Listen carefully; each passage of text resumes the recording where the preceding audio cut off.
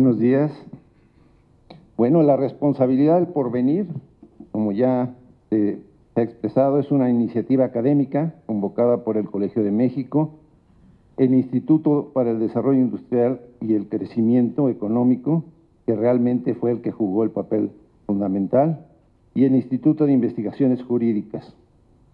y donde Arturo Oropesa jugó un papel destacado. Este, este, esfuerzo involucró la participación de 40 académicos y periodistas y empresarios de 30 instituciones en el que todos los convocados acordaron desarrollar un proyecto de análisis y propuestas para,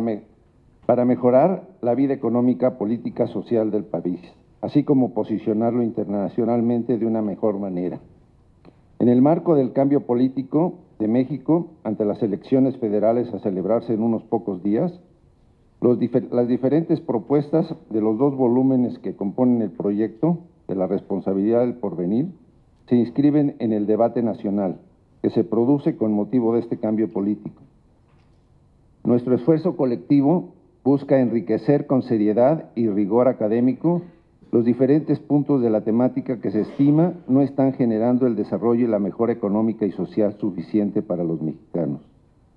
Las 40 contribuciones debidamente sistematizadas en cada uno de los cuatro temas que aborda no solo cuestionan lo que parece como asignatura pendiente del país, sino que, sino que proponen en su conjunto diversidad de soluciones para que sean contrastadas con las diferentes voces nacionales que se encuentran preocupadas por el desarrollo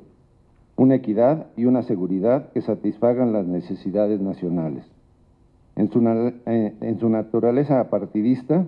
los trabajos de los analistas invitados se realizaron con toda libertad y aprovechando el conocimiento de cada uno de ellos.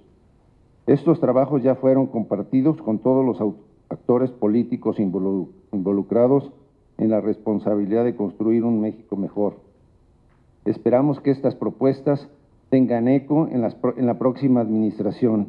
y sirvan de punto de partida para que el próximo uh, gobierno enfrente con éxito los grandes problemas a los que se enfrenta tanto en lo interno como en sus relaciones con el exterior. Muchas gracias.